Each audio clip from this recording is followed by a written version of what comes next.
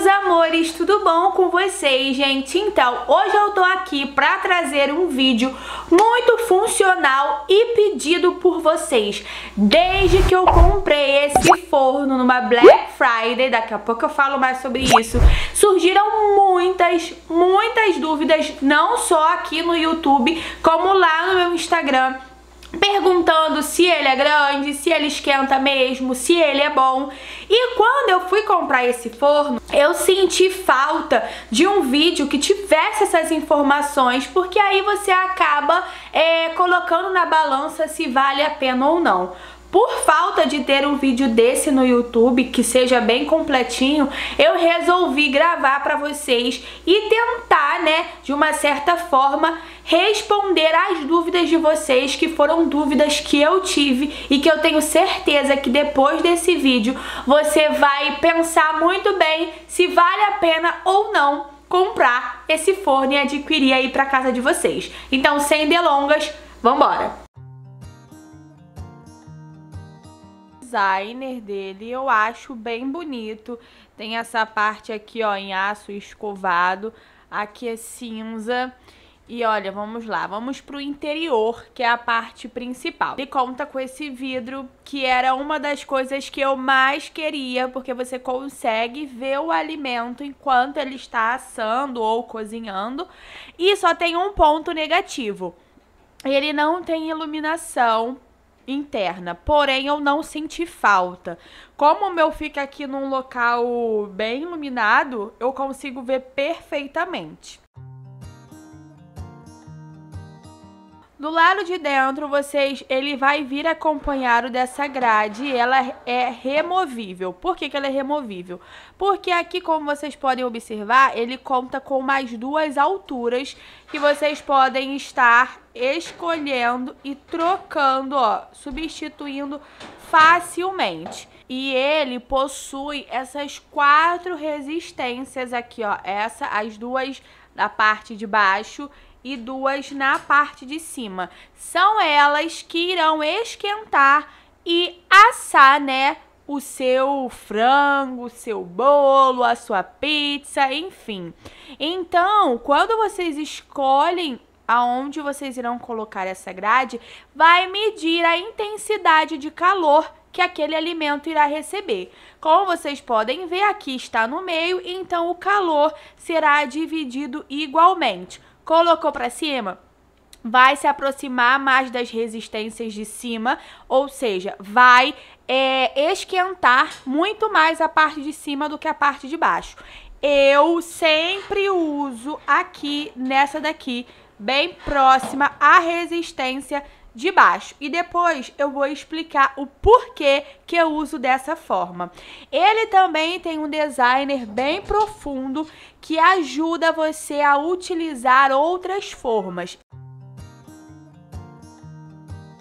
Esse meu forno é um forno elétrico da Filco 38 litros. E a pergunta que eu mais recebo é: Paloma, cabe tabuleiros, você consegue colocar tabuleiros normal, normalmente no seu forno? A primeira coisa que eu vou fazer para vocês é mostrar isso. Estou preparada para comprar tabuleiros novos para que desse aqui, porque eu, eu tinha o meu forno convencional e ele era bem grande.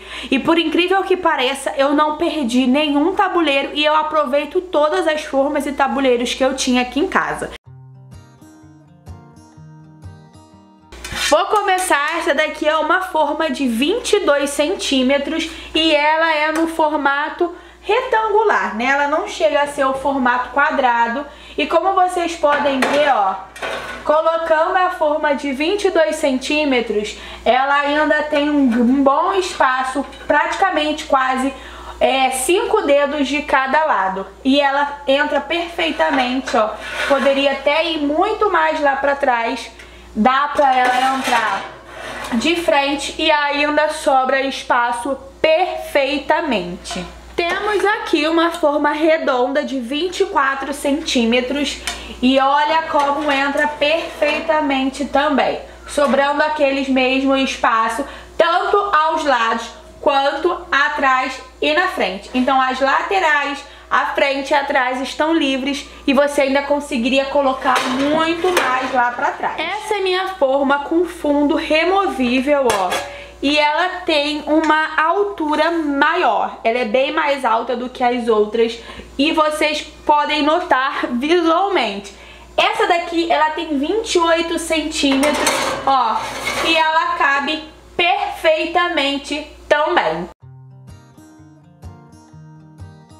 Já consegui colocar uma forma aqui de até 32 centímetros de largura. Ela cabe perfeitamente. Só que quando você coloca uma forma maior, maior aqui, ó, mais larga, você tem que colocar ela nessa posição. Aqui nós temos uma forma mais larga, maior. Então, quando você for colocar, ó, essa daqui é bem maior. E olha, ela entra facilmente, porém agora sobra menos espaço nas laterais. Caso você esteja querendo colocar uma forma maior, vocês conseguem colocar elas perfeitamente, porque além do espaço que ela tem ali em cima da grade, ela esse forno tem aquele designer que eu falei pra vocês. Então ele consegue fazer com que você coloque o seu tabuleiro até mais lá pro fundo, trazendo assim um espaço maior. Ou seja, você vai conseguir colocar uma, um tabuleiro maior sem problema nenhum, contando que vocês enfiem ele nesta posição.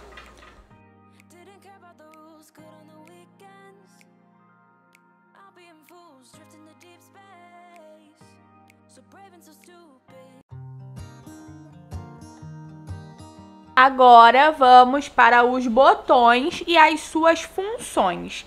É, esse é um pouco do diferencial que eu citei para vocês de um forno convencional para um forno elétrico.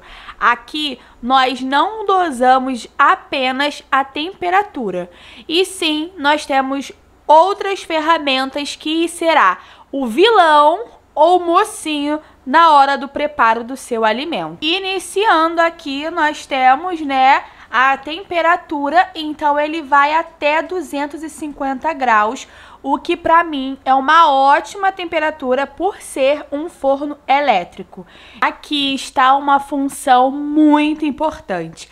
É aqui que irá definir o que você irá cozinhar. Então eu vou para as dicas porque é algo que nós fomos aprendendo no decorrer, né?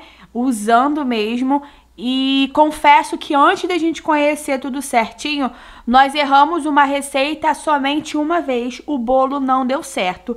Porque o, o mistério está aqui. Ele conta com quatro funções sendo a função, o desenho, ele já explica bem, mas se você não tiver o conhecimento, você irá ficar um pouco confuso. Nessa função aqui, como vocês podem ver, a chama está acesa em cima e embaixo. Ou seja, quando você deixa o botão nessa função, as duas resistências, tanto a de cima quanto a resistência de baixo, irá acender e aquecer ao mesmo tempo. Já nessa outra opção aqui, a chama vem só da parte de baixo nós temos esse vermelhinho que é a função dourar, já está até escrito aqui. Então vocês irão, depois de finalizar o cozimento, vocês coloquem nessa opção e ele vai dourar o que você estiver assando. E essa é uma opção onde fica o calor nele todo, porém com menos intensidade. E por último, nós temos aqui duas funções. Você pode utilizar o forno apenas ligando, sem acrescentar timer nenhum, o que eu não gosto, porque assim fica acaba que fica a mesma função do forno convencional. E aqui nós temos a opção de timer até uma hora. Ó, eu vou adiantar aqui para vocês verem, ó. Perto de acabar, ó, aumenta um pouco a rapidez do barulho, ó. E ele apita. Apitou, imediatamente ele para de ficar trabalhando, ele desliga e não esquenta, não assa, não faz mais nada. Dessa forma é muito mais fácil de vocês estarem, né, observando o tempo de cozimento. Assim vocês conseguem programar e fazer outras coisas é, sem se preocupar se vai queimar ou não. Já na função ligado aqui direto, quem determina quando liga ou desliga é você.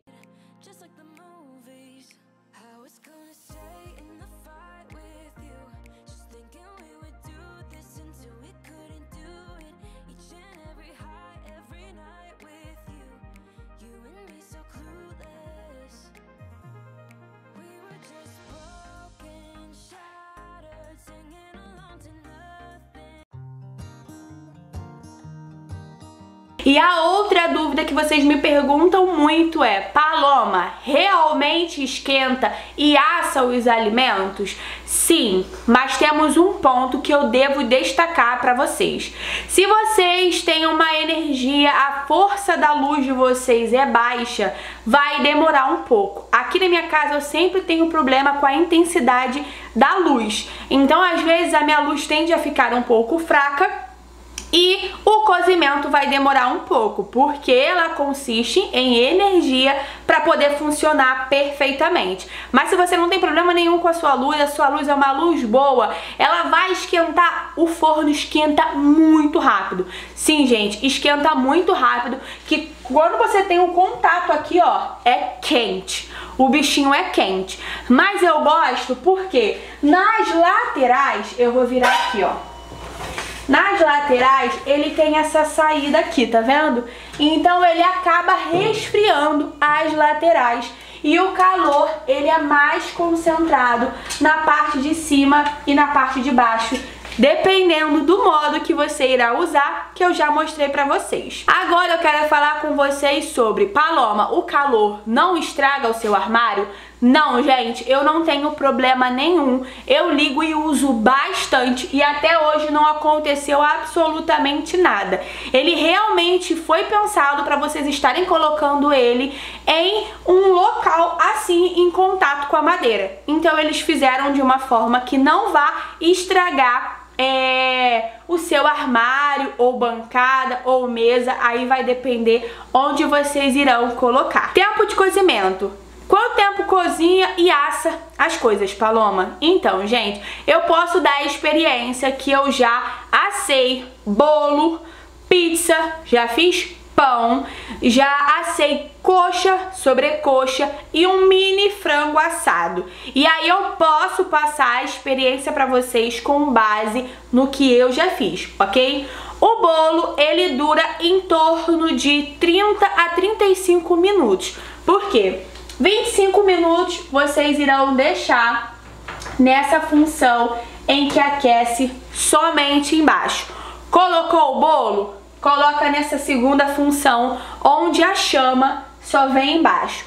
Deixa 25 ou 30 minutos quando você espetar o bolo e ele já estiver saindo limpo ou quase limpo, sabe quando a gente espeta assim e ainda saem uns vestígios de bolo que ainda não estão 100% assados?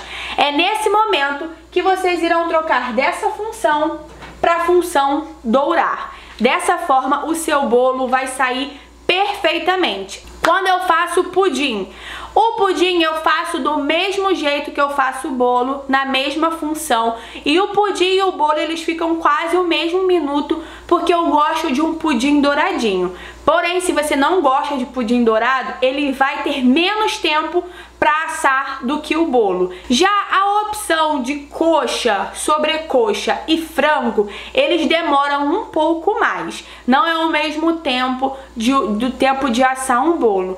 Eu creio que em uma hora vocês conseguem assar e deixar douradinho tudinho perfeitamente. Só que aí eu gosto de assar numa temperatura mais elevada.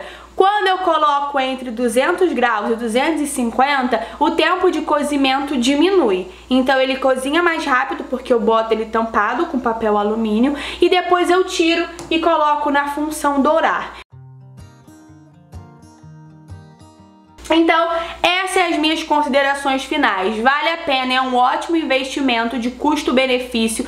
Ele atende a gente muito bem, faz com que a gente tenha autonomia de deixar ele trabalhando e poder fazer outras coisas por conta da, do temporizador e do timer. Então é algo que veio agregar muito e se eu se estragar essa belezura, eu compro outro.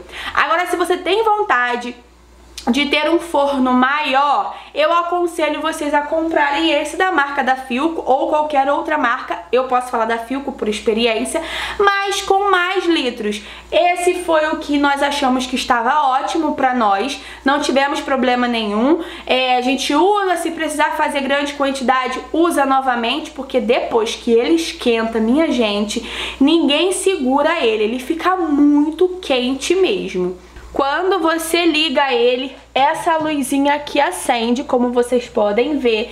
E a interna, ó, eu liguei não tem nem 5 minutos e já está começando a aquecer.